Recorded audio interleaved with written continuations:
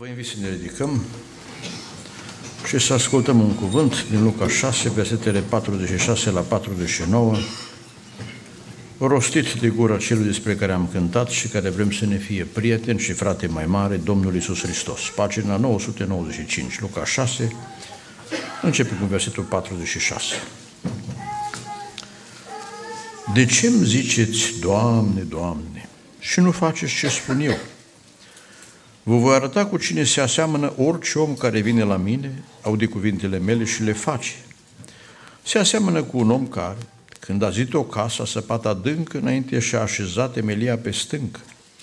A venit o vărsare de ape și s-a năpustit șuvoiul peste casa aceea, dar n-a putut să o clatine pentru că era zidită pe stâncă.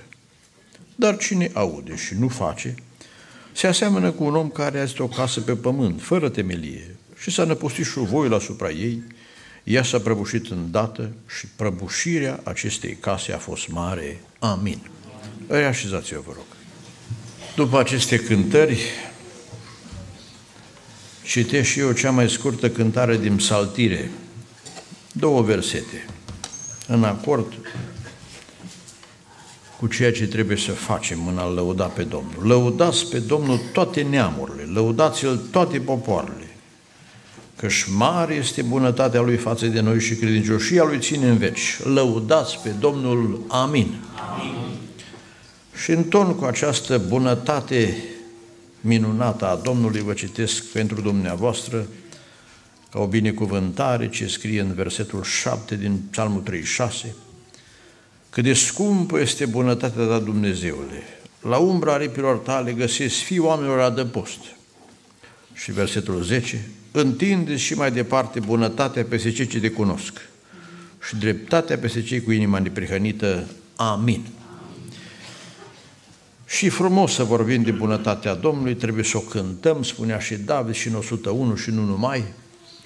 Dar zice Pavel în Romani 11 cu 22 să ne uităm și la bunătatea lui Dumnezeu și la asprimea lui. Dumnezeu e și dragoste și foc mistuitor. Am citit ceea ce în Evanghelie este finalul predicii de pe munte. Și aș vrea să folosesc întrebarea pusă de Domnul drept titlu pentru ceea ce prin harul să urmează să vă spun. De ce îmi ziceți, Doamne, Doamne, și nu faceți ce spun eu? E o întrebare de fond, nu de formă. De ce îmi ziceți, Doamne, Doamne, și nu faceți ce spun eu? A zis Domnul Isus. În primul rând vreau să observăm din Scripturi că erau unii care nu-i ziceau Doamne, nu toți oamenii se încadrează în forma aceasta la întrebarea pusă. Știți că unii nu îi se adresau cu apelativul Doamne. În cel mai bun caz, ei spuneau, hai să citim din Luca 20, s-au dus unii să-l ispitească 20 cu 21 învățătorule. Știm că vorbești și înveți pe oameni. Avea Domnul, să spunem așa, doctrina lui. Saduchei, 28, învățătorului. Iată ce ne-a scris Moise. Și Domnul chiar în final pune o întrebare aici, în acea discuție cu unii și cu alții, zice în versetul 42, Însuși David în cartea psalmilor zice, Domnul a zis Domnului meu. Deci dacă David îl numește Domn, atunci cum este el fiul lui? Dar, repet, unii nu-l numeau Domn. În cazul spălării picioarelor scrie la Ioan la capitolul 13 că Petru și nu și singura situație în care se adresează așa, îi zice versetul 9, Doamne, și Domnul și a scos în evidență cele două aspecte, versetul 13, voi mă numiți învățătorul și Domnul. Și bine ziceți că sunt și învățător și Domn, slăviți să fie numele. Deci dacă eu, Domnul și învățătorul vostru, sper că pentru dumneavoastră nu-i doar învățător, așa să știți din cultura generală sau de la biserică și de ce v-au învățat părinții, că Iisus a avut o învățătură și toți îi spuneau rabi nevreiește învățătorule. Și avea cutezanța Domnul să spună, ați auzit că a zis Moise, dar eu vă spun, pentru că Domnul a venit cu o învățătură și nimeni nu i-a putut contesta această învățătură, mergeau mulțimile după el, se mirau mai apoi și conducătorii religioși și politici a Israelului, de îndrăzneala ucenicilor, știau că nu erau cărturari, dar umblând cu învățătorul, au devenit și ei învățați și au continuat această slujbă de predicare. De ce unii spuneau numai învățător și nu domn? Pentru că nu-i recunoșteau autoritatea, doar nu l-ar fi răstignit dacă ar fi crezut aceasta. Spune Apostolul Pavel la 1 Corinteni, la capitolul 2, citesc de la versetul 7. Noi provodim înțelepciunea lui Dumnezeu, cea tainică și ținută ascunsă pe care răduise Dumnezeu spre slava noastră mai de veci și pe care n-a cunoscut-o niciunul din frutașii viacului acestuia, că dacă ar fi cunoscut-o, n-ar fi răstăgnit pe Domnul Slavei. Dar, repet, eu cred că noi toți suntem din cei care zicem, Doamne, Doamne. Adică îi spunem lui Dumnezeu Tată, dar să vedem dacă ne spune și El Fii. Doamne, ajută!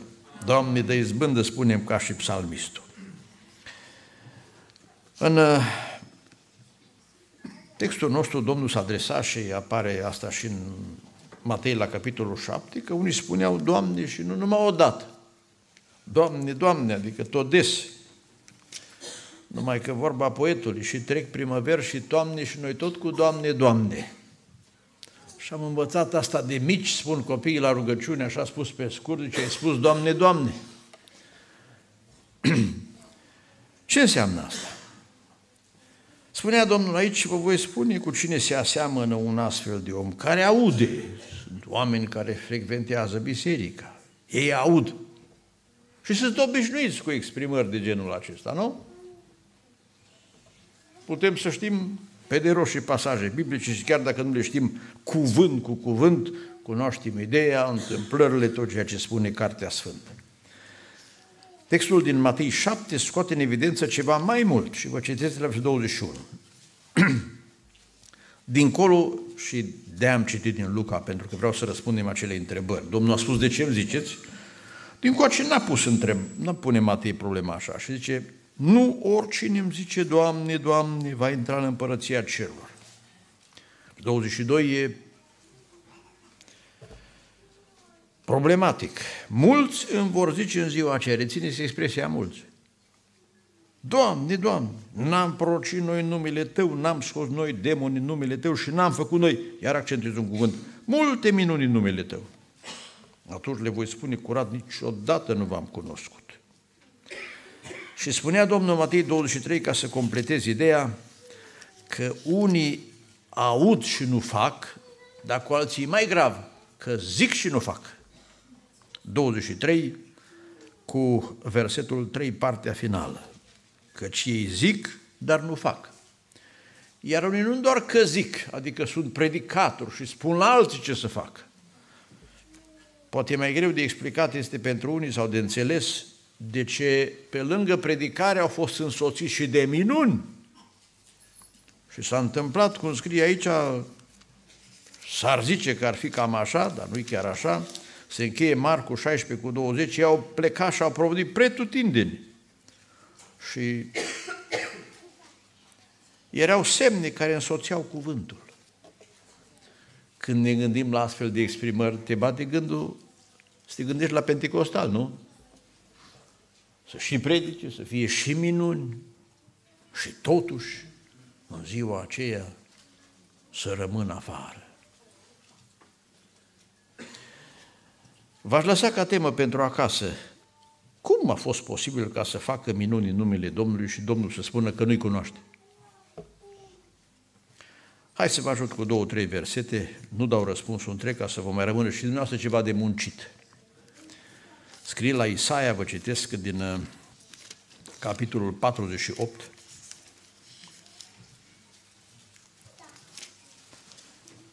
Versetul 1. Ascultați lucrul acesta, casa lui Iacov, care purtați numele lui Israel și care ați ieșit din apele lui Iuda. Voi care a jurat pe numele Domnului și care chemați pe Dumnezeul lui Israel, dar nu în adevăr nici cu neprihănire. Versetul 9. Din pricina numele meu sunt îndelung răbdător pentru slava mea, mă opresc față de tine ca să nu te nimicesc. Versetul 11. Ascultați un răspuns. Din dragoste pentru mine vreau să lucrez. Cum ar putea fi hulit numele meu? Nu voi da altuia slava mea. Și sunt multe versete, și în Psalm, și în Ieremia, care dovedesc că Domnul a lucrat pentru cauza sa, pentru numele său, să-și ducă planul la îndeplinire. Hai să vă dau un exemplu din a doua împărați 14. Aici avem un împărat din dinastia lui Iehu. N-a fost rău ca toți ceilalți, că regatul de nord n-a fost niciunul bun. Și scrie aici în 14 cu 25, hai și 24, el a făcut ce este rău, a luat înapoi hotarul lui Israel de la intrarea Hamatului până la Marea Câmpiei. După cuvântul pe care o scrise Domnul, că Domnul a văzut necazul lui Israel că era prea mare. Și a lucrat prin el. Cum a lucrat și prin Saul o vreme și în parte și prin Samson. Sau pentru Ahab îi spune Domnul îți dau biruință. Nu pentru el, ci pentru numele Domnului, pentru cauza Israelului.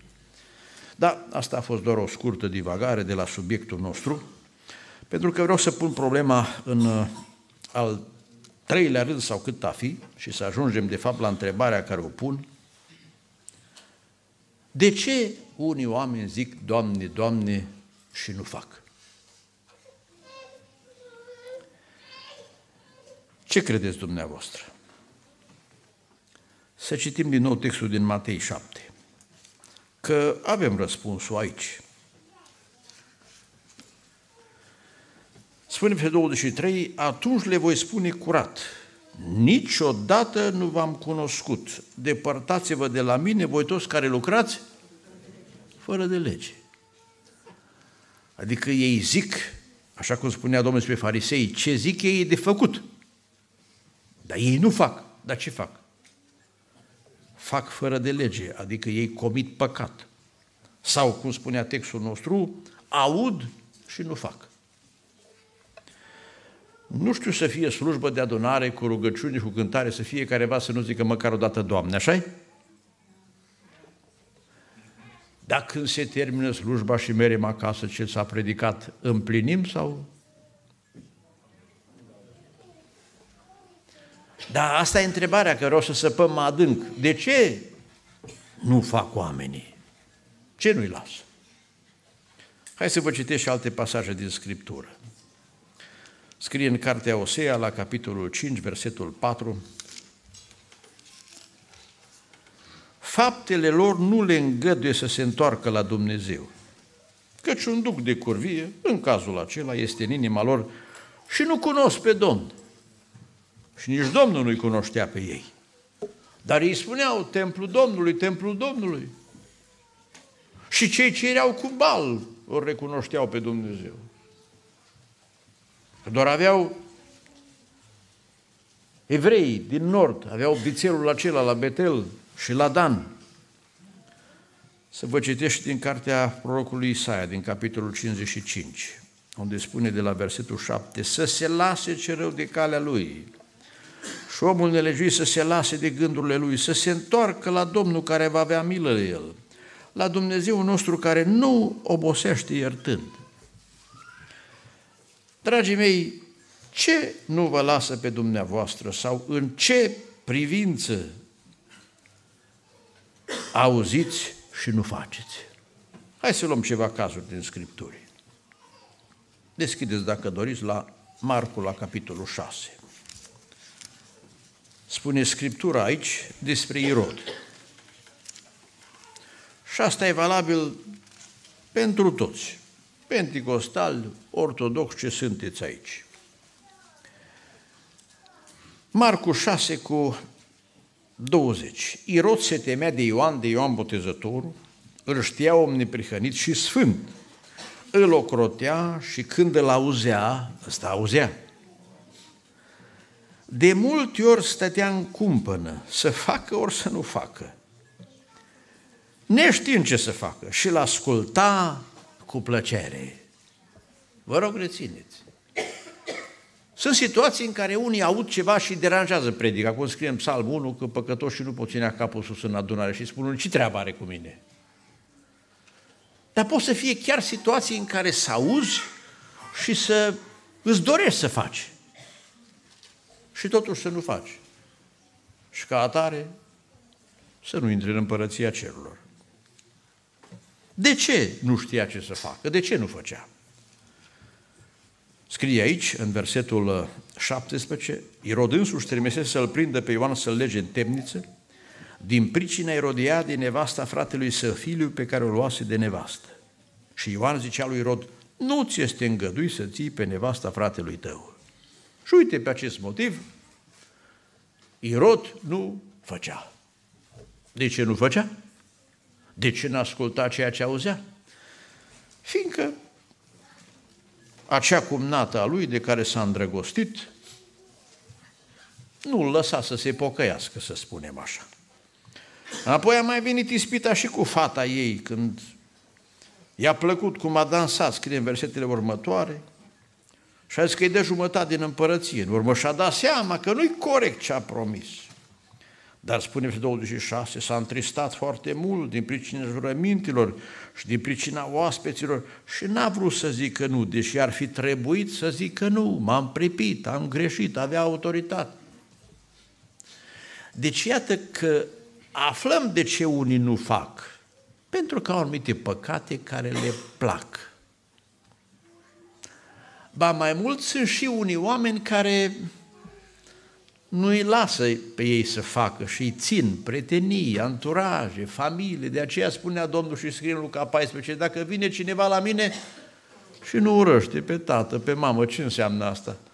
Adică atunci când e vorba de ascultat de Domnul să-i lași pe toți și dacă s-ar împotrivi și să-ți mântuiești sufletul. Spunea un frate păstor de la Baia Mare, fratele Ionică Vlașin, că a fost la o adunare la Berbeș, pare, mi se pare, Maramureș, predica fratele Moise Lucaci. Și vorbea despre Balam, omul care avea vedenii cu ochii deschiși. Și fratele are și el vedenii și spune, Doamne, am vedenii numai când închid ochii. Cum o fi asta, vedenii cu ochii deschiși? Mai interesant. Și n-a apucat bine să gândească și vede în dreapta și în stânga lui fratele Moise Lucaci câte un înger. Și mâna stânga lui, așa ca o suliță, ca o undiță, s-a lungit așa, până la al treilea rând, la margine, la mintea unui bărbat ce stea acolo, i-a făcut așa ca un semn, s-a deschis cutia craniană și vede un cheac de sânge pe creier, în vedenie. Și în vârful acelei ustensile, sau cum să o numesc, a îngerului, un tampon tamponează, vede creierul curat, se închide cutiuța și vedenia dispare. Și întreabă la urmă pe slujitor, cine e omul acesta? Este un prieten care vine la adunare, că în ultima vreme are dureri mari de cap, are ceva probleme grave. Și fratele spune încredințat pe descoperire, din seara asta nu o să-l mai doară capul, e sănătos. Și după vreo doi ani se întâlnesc sau trece pe acolo și întreabă, unde e omul acela vindecat de Domnul? S-a pocăit? Nu s-a pocăit, dar de ce? Nevastă s-au spus că nu-i de acord și el nu renunță la nevastă pentru Domnul. În seara asta aș vrea în modul cel mai solemn fiecare să se gândească în domeniul unde știe că e vinovat, că și conștiința îți spune, noi avem procuror, fiecare. În ce privință zici și nu faci? Adică zici, Doamne, vreau să fiu mântuit, vreau să fiu al Tău. Dar ai un capitol în care nu împlinești ce trebuie sau poate alții nici nu vor să, n-au făcut încă pasul în pocăință. De ce? E ceva ce-ți place și care nu te lasă să te pocăiești. Eram încă în Apusene, asta cu aproape 30 de ani în urmă. Atunci nu era telefoane și internet ca acum, sau cel puțin nu aveau acces masa de oameni, dar erau televizoare. Și o familie și-a introdus televizor și le-a spus, băi, nu e bine, asta nu vă ajută, la televizor nu e cultură, e doar așa, informație ușoară. Și un băiat de lor adolescent îmi spune într-o zi, au să nu-i mai spui la tata și la mama asta că se supără pe dumneata. Da, mă băiete, de ce nu dați televizor afară? Îți spun eu de ce nu. Păi și acum, zice, urmează Jocurile Olimpice sau nu știu ce campionat. Zice, mie îmi place fotbalul, la tata boxul sau invers, o zic, și la mama patinajul. De ce nu fac? le place să facă. E ceva ce îi ține legați. Vreo păcat anume, vreo dorință, o patimă, o poftă. Și diavolului nu îi trebuie să te lege cu toate lanțurile, numai cu unul. Dar bine, dacă se poate dependent.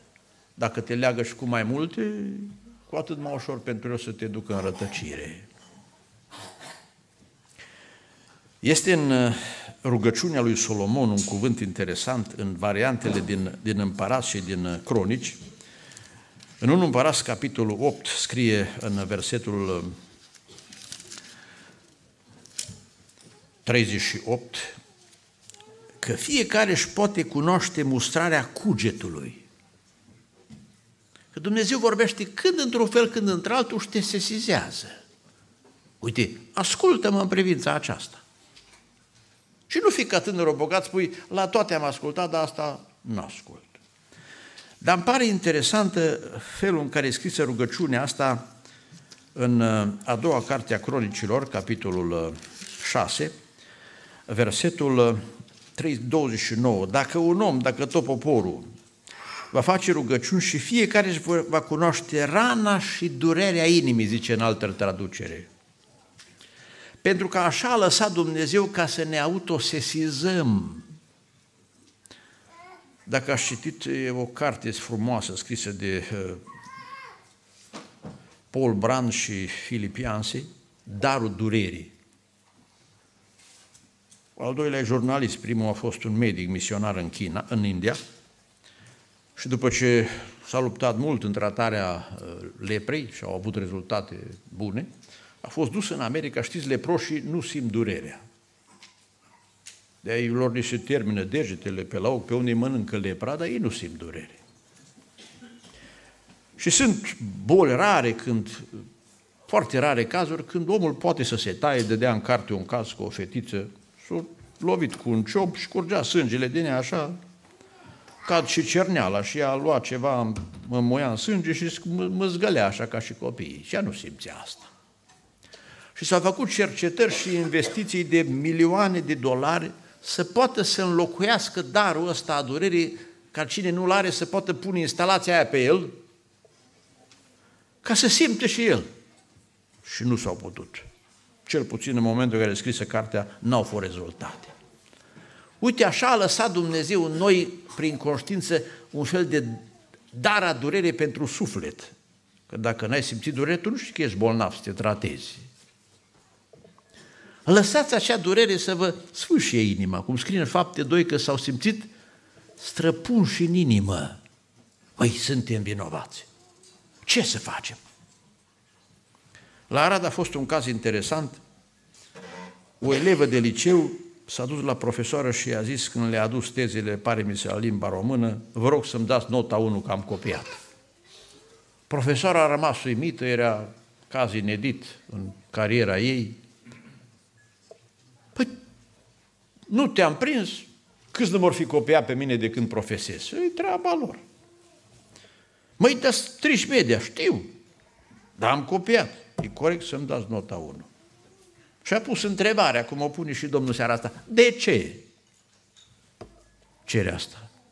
Și copilul a zis, m-am cercetat în lumina Domnului duminică mă botez, asta îmi strică bucuria, mă simt vinovată, dați-mi unul că vreau să mă bucur duminică. S-ar putea să te deranjeze când cineva îți atinge buba ta. De ce zici și nu faci? Cum s-a întâmplat, scrie în Ioan 4 că a vorbit Domnul cu femeia aceea, poți să-ți dau apa vieții. Inițial femeia nu s-a prins. Și tu iudeu, eu samaritean. Dar apoi a prins ideea așa, zis, dăm, Doamne! Sâșnește în viața veșnică, e eternitate. Și Domnul îi spune, nu, trebuie să rezolvăm o problemă. Du-te după bărbatul tău. Apoi zice, nu-s cununat. Măi, de acum o atins-o exact unde o doare. Așa e un doctor bun, nu? Nu mergi la tric doctor și nu ghicești ce ai. A avut S5 cu ăsta el e nelegitim. Cum scrie în Marcu 10, e tânărul bogat, am amintit adineaur, scrie acolo, s-a uitat domnul ținte la el și a spus, bun, bun, bun, bun, hop, aici bai. Să lipsește un lucru. Tu te vinde tot ce ai. A putut duce? Mă, el a auzit, dar nu a făcut. Și cu Doamne, Doamne, gata acum. Dar de ce?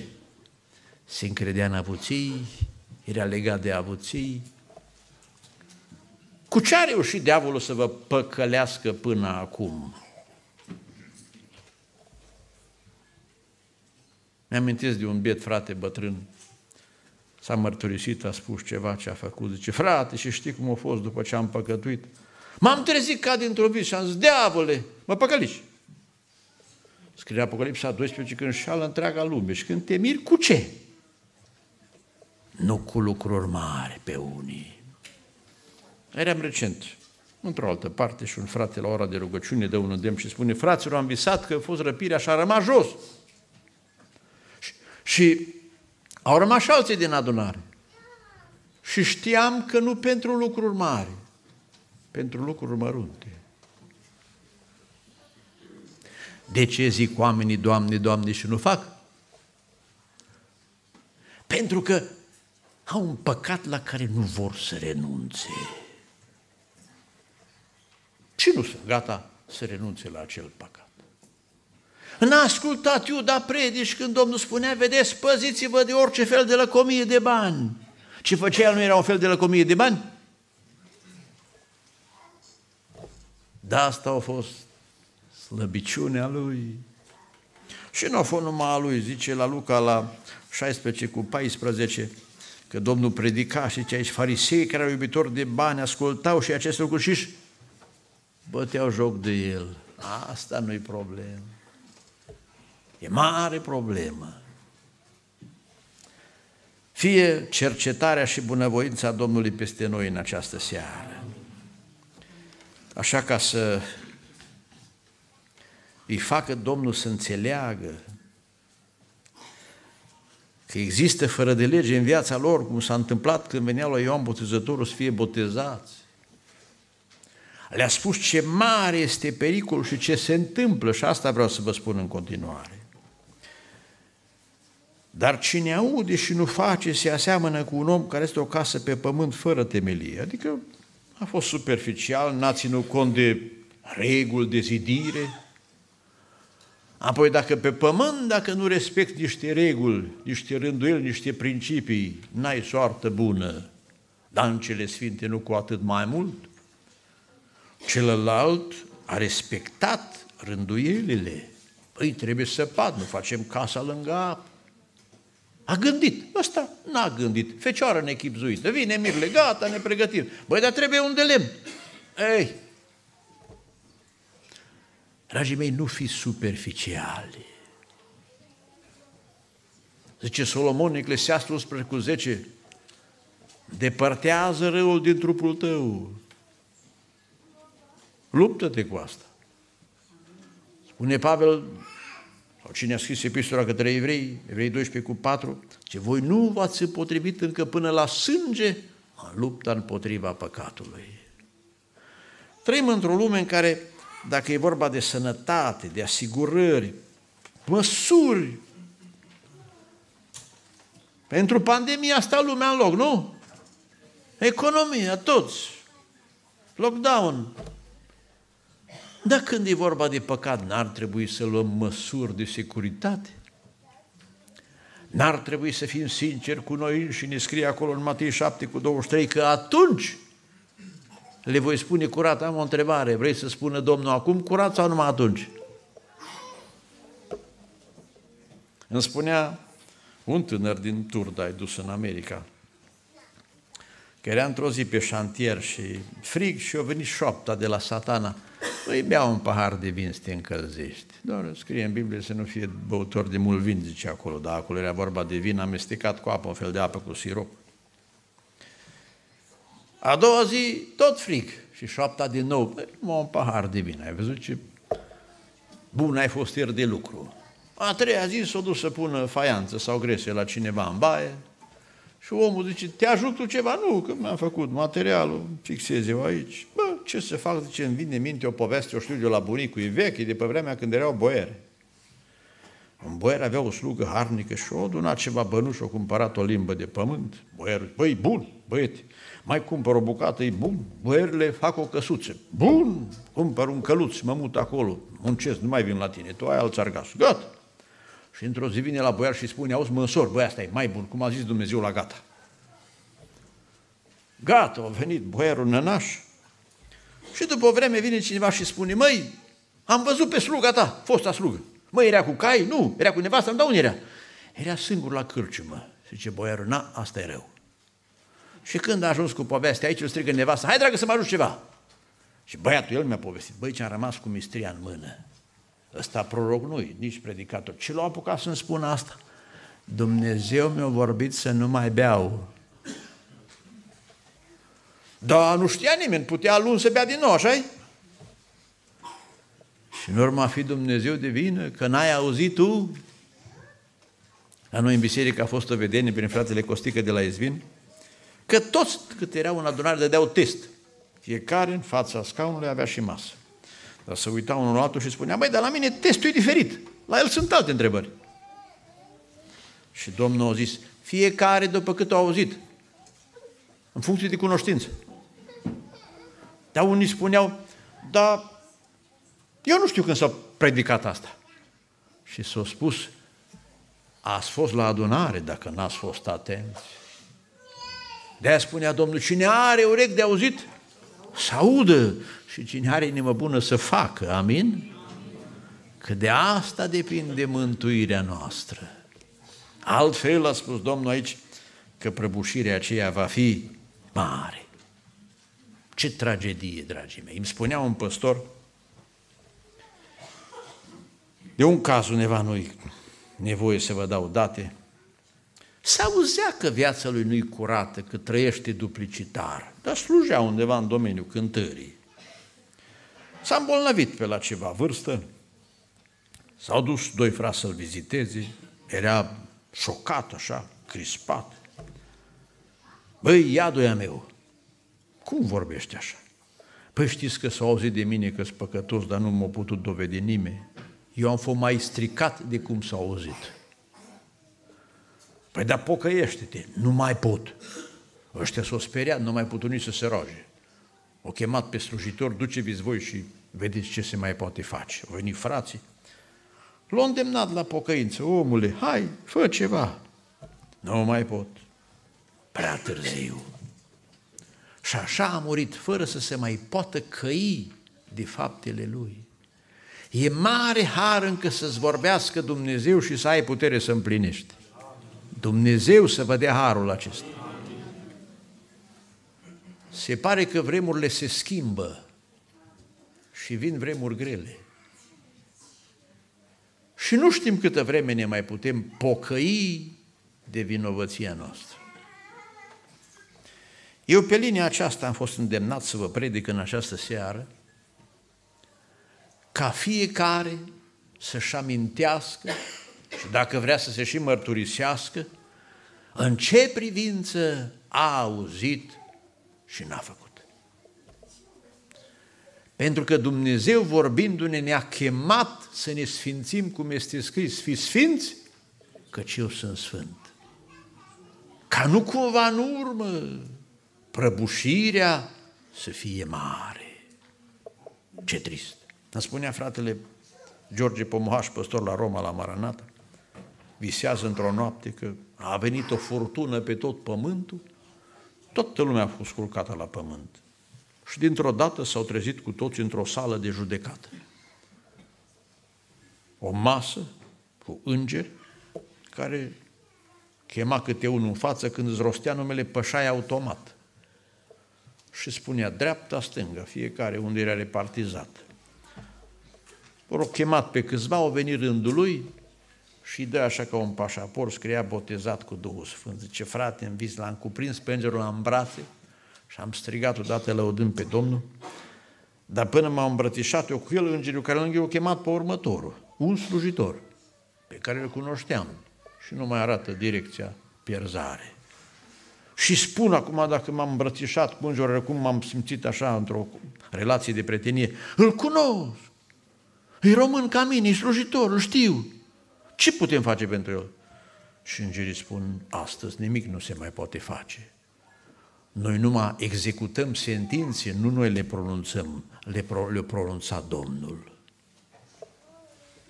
Ce prăbușire mai mare decât aceasta poate să fie? Să te știi pierdut pe vecii vecilor. Spunea fratele Avrămescu, păstorul bătrân de la Deva, că au avut o prorocie prin cineva asta cu ani în urmă. Să îndemne biserica la mărturisire că sunt stări vinovate în popor. Și fratele s-a gândit, mai da, oamenii se mărturisesc dacă au ceva la cina Domnului sau în alte împrejurări.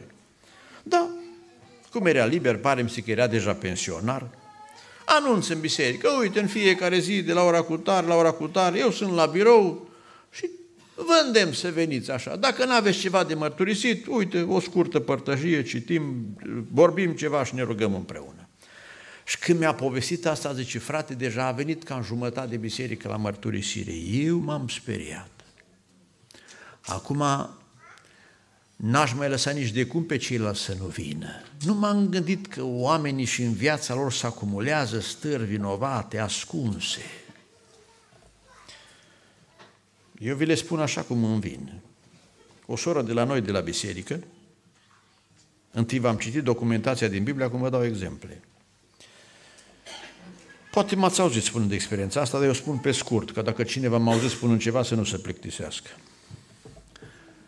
O soră eclavioasă, credincioasă, în vârstă, nu mai putea veni la adunare, sănătatea nu mai permitea, dar petrecea timpul rugăciune, cum scrie în Timotei 5 cu 5.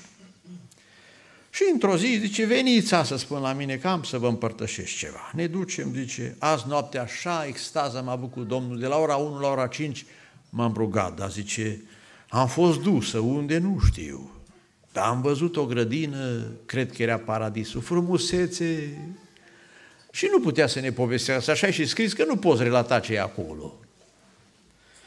Și zice, înainte a se încheia, cum să o numim, revelația asta, zice, mă duce solul acela ceresc undeva la un demisol, o zonă întunecoasă, mirosea urât,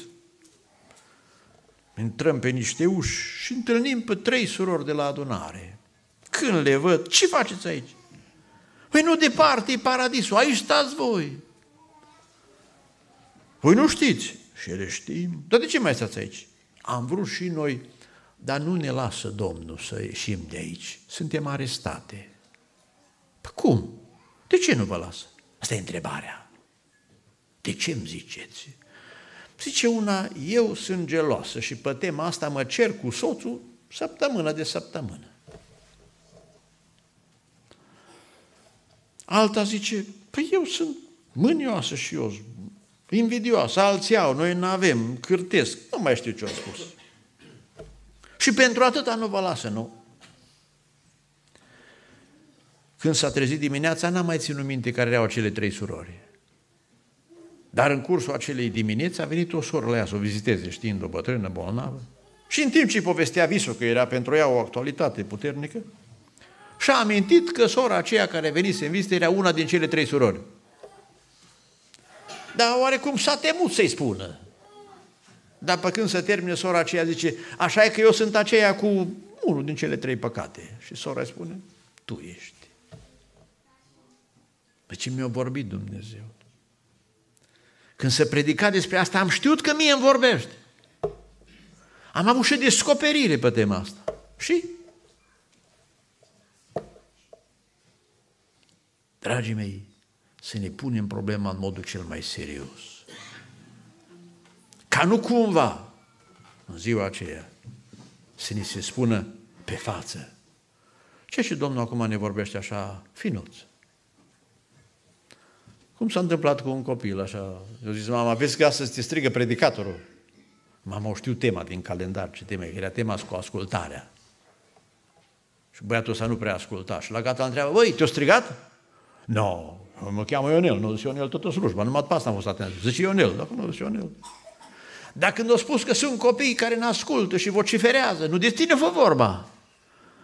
Ba da, dar nu m-am gândit că mai sunt și alții. Da. Când Domnul a discutat cu ucenicii, cred eu că a fost ultima intervenție de a fi salvat Iuda. A zis, sunt cuprins de o întristare. Unul mă vinde. Putea să-și dea seama că e vorba de el. Dacă ar fi să armonizăm textele, nu-i timp să le citim acum, bă, poate l-ar fi dus mintea să spună, poate și altul, nu numai eu. Dar scrie în Matei 26 că a întrebat, eu sunt. Și Domnul a spus, tu ești. Adică a mers Domnul până la punctul final și corelând textul cu Ioan 13 spune că atunci a intrat satana în Iuda când vorbindu-i direct n-a vrut să se întoarcă, să se pocăiască. Din faza aceea n-a mai putut să fie salvat. E trist când se întâmplă așa. Recapitulez și mă opresc aici, ora 8. Spuneam că unii nu îi zic lui Iisus Domn. Deși, cum spune Petru, preca de la Rusale, de la cinzecime, că Dumnezeu l-a făcut Hristos și Domn, slăbit să fie în veci. Pentru ei toată învățătura biblică e așa ceva de discuție, dar nu neapărat de recunoaștere. Dar dintre cei care zic Domnului Domn, care recunosc, care au încheiat legământ cu Domnul. Recent am văzut o procie, pare mi pe frate Mircea Bodrlău, striga Domnul, Poporule, unde ți este cuvântul? Mi-ai promis că mă slujești și că mă asculți. Asta în primul rând citim din Scriptură. Și asta e întrebarea din seara asta. De ce îmi ziceți, Doamne, Doamne? Adică vă raportați la mine ca la un stăpân și încolo, nu stăpân, se spune că atunci când a fost înconjurat Ierusalimul de oștile romane, a ieșit un rabin la generalul Titu și a spus, stăpâne, mor oamenii, copii, femei. Și la întrerupt general și a spus, stai, stai, cum ai zis? Stăpâne, dacă stăpân, deschideți poarta, mă. Asta e marea problemă. Îi zicem domn, domn înseamnă stăpân, dar fără să-l ascultăm. Asta pe motiv că sunt anumite lucruri care satana ne-a înșelat, care ne plac, la care nu vrem să renunțăm. Diavolul reușește, asta mă adaug, să, să creeze niște explicații la orice păcat. Da? Am întâlnit explicații și la lucruri grave. Unul care își permitea să trăiască cu sora nevestei lui. Și când a fost chestionat, deși în părea așa un lup moralist, pe cum ți-ai permis asta? Păi nu-ți dă seama că e păcat? Zice, nu, că Iacov a avut două nevese, dacă au fost surori, nu au fost păcat. Ei, diavolul reușește să te convingă. Nu acceptă astfel de convingere. A venit și la Domnul și a spus, de asemenea ai scris. Dar Domnul mi-a spus, David, să nu se contrazică versetul ăsta cu un altul. Și am încheiat spunându-vă că Domnul mă așteaptă după noi, dar când va veni furtuna, și vă rog rețineți ideea asta de încheiere, Duhul Sfânt anunță într-una că va veni o cernere, că vor veni furtuni și toți care n-au rădăcini, care nu stabili, vor cădea în masă. Și asta pe noi ca slujitori ne întristează. Oamenii care sunt ușori, Păi numai pandemia asta cum mi-a zdrobit pe unii. Ce teama băgat în ei. Cât de ușor îi va duce valul când vine problema să nu ai, să fii restricționat, să pierzi un serviciu. Și atunci se va dovedi cine rămâne în picioare, cine a luat pocăința în serios, cine s-a luptat să n-aibă nicio vină, biserica să fie fără pată, fără zbârcitură sau altceva de felul acesta. Cine postește regulat, se roagă, cine e smerit, aceștia rămân în picioare. Pe ceilalți îi spulberă vântul. Și ce trist să asistăm la o asemenea prăbușire. Bunul Dumnezeu să vă dea îndurare să vă rămână casa în picioare. Evident că e vorba de casa sufletului, asta înseamnă mântuire. Doamne, îți mulțumim că ne-ai chemat și ne-ai vorbit. Dă-ne putere și ceea ce am auzit să și facem. Amin.